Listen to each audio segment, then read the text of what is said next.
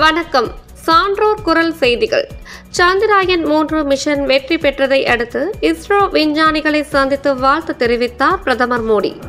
லாண்டர் rover எடுத்த புகைப்படங்களையும் நிலவின் தென்பகுதியில் விண்கலம் எங்கு உள்ளது என்பது குறித்த புகைப்படங்களையும் பிரதமர் மோடிக்கு இஸ்ரோ தலைவர் சோம்நாத் பரிசாக வழங்கினார்.